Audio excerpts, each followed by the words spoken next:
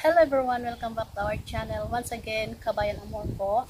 Ayan po. So, wag niyo na pong pansinin yung ating outfit for today kasi ang dami pong ginagawa ah, kanina dito sa ating garden. And then, this time is medyo wala na akong masyadong gagawin. And then, ito po yung ating, kung naalala niyo po yung vlog natin before, na yung ating uh, Echeverria Pinwheel Revolution mga kabayan which is inaalisan po natin siya ng flowers. So, ngayon nagpa-flowers na naman sila. Lagi nyo itong nakikita every time mag-live tayo. Ayan o, yung mga flowers nila mga kabayan. And also here, ayan. So, lahat na naman sila ay nagpa-flowers. So, aalisan na naman natin ng mga flowers mga kabayan kasi you know me naman na nagtatanggal talaga ko ng mga flowers sa ating mga uh, succulents. Ayan. So, hindi ko na siya dadalhin doon sa ating uh, vlogging station kung baga kasi nga para mas mabilis lang kasi parang umuulan na naman. Ayan so yan po yung ating natatanggal na flower. So dalawa pa yung nagawa ko mga kabayan. Ayan. So yung buong oras ko talaga ay dito lang umiikot sa aking garden. So nagtatanggal ako ng ano ng mga dried leaves nagtatanggal ako ng mga flowers sa iba kong mga plants. So, ito kasi ay group sila. So, kaya inuupuan ko ng mga kabayan. As napapansin nyo po yung aking likod, this one here. So, wala na pong masyadong flowers dyan. Kasi, inaalis ko na po sila kanina. And then, isipan ko lang siyang i-vlog. Itong ating revolution. Uh, hindi ko na maalala kung pang ilang flowers na ito niya mga kabayan. Basta na-vlog natin siya before. Doon natin siya bina-vlog sa table talaga. Nung inalisa natin, yung hindi pa ganito yung setup ng ating uh, mga succulent sa likod. Yung may bench pa dito. So, ayan, nagpa-flowers na naman siya. Bilis lang yung mag-flowers, guys. Hindi ko alam kung yung mga succulents nyo rin ay mabilis din mag-flowers. Bago ko lang siyang inalisa ng flowers mga kabayan, yan o. Oh. Echeveria, Ron, Ron, ang hirap ang nito. Yan, inalisan ko siya ng flowers. And then, ayan o. Oh. Nagda-dry na nga yung ibang flowers mga kabayan kasi lagi ko siyang nakakalimutan. So, for example, today, isipan ko na alisan ng flowers tapos yun nga makakalimutan ko kasi mayroon akong ibang gagawin.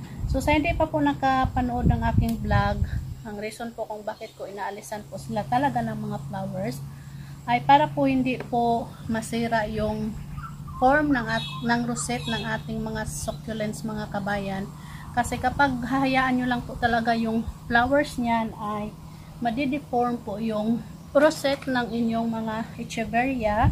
And then instead na makakuha po siya ng mga energy, ang mangyayari po ay mapupunta po doon sa lahat ng dried flowers. Kaya yun po ang reason na inalisan ko talaga sila ng flowers. Yan. Pero kapag hindi ka pa ano talaga, lalo na kapag first time mo palang makita yung mga succulents mo guys na nagpa-flower. So, hayaan nyo lang po muna. And then, enjoy nyo lang po muna yung flowers niya. And then, wag nyo pong kalimutan talaga na once na magda-dry yung flowers ay alisin nyo po talaga or gupitin. Huwag nyong hayaan na magda-dry siya mga kabayan. So ayan na po malinis na po yung ating Echeveria Pinwheel Revolution. So sobrang dami nito guys. Meron pa lang isa dito natira. So sobra ko, sobrang dami ko na ng ganito. And then ang dami, mayroon na naman akong bagong i-propagate na ganito din siya. Kasi yung mga mother kasi nito, nung ating pinupugot mga kabayan ay, 'di ba, naglash na siya.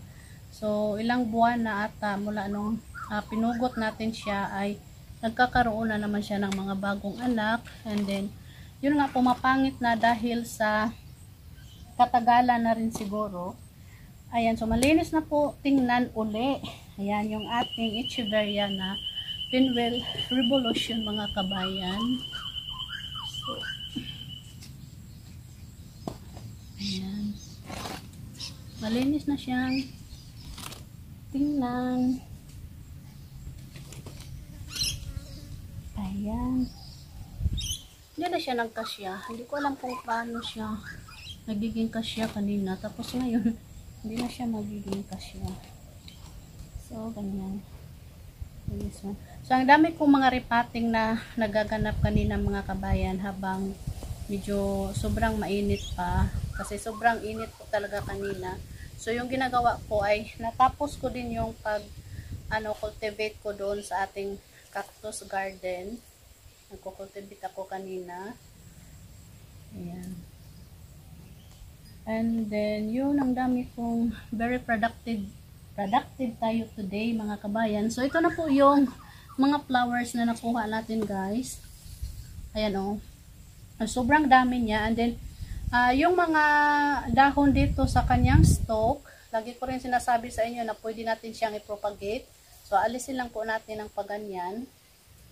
And then, spread natin kung saan natin gustong i-spread. And then, uh, minsan kasi may tapunanan ako doon. So, doon ko siya itatapon mamaya. And then, papakita ko rin po sa inyo yung nabanggit ko kahapon sa ating live na tumutubo po yung ano natin, yung ating pinusok lang din na Calathea jebrina mga kabayan. So, konti lang yung nakuha natin. Marami pa naman siyang dahon but medyo nahirapan yung aking maliit na kamay. So, ilalagay natin siya doon sa aking uh, tapunana ng mga ano mga kabayan, mga dahon. So, ito lang po yung dahon na kinuha ko from the flowers mga kabayan. Hindi ako masyadong makagalaw. So, dito ko siya nilalagay yung aking mga dahon lang na pinanghagis dyan. Although doon sa likod po ay marami po yan mga kabayan.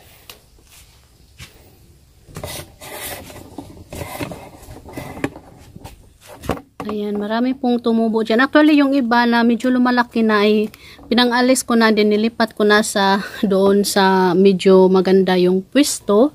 So, ito yung sinasabi ko na tinanim ko na Jebrina sa ground. And then yung isa dito, nung nakita ko lang siya kahapon guys, ay dito po siya. Oh.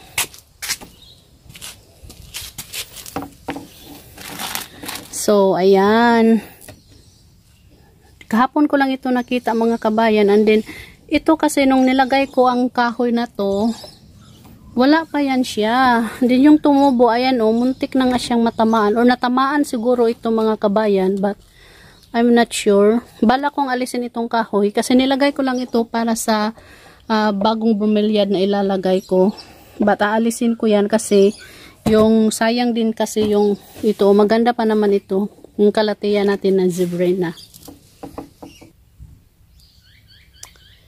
So, ayan po, medyo madilim na po dito mga kabayan. Ito po yung mga ginagawa ko kanina. So, malinis na po siyang tingnan.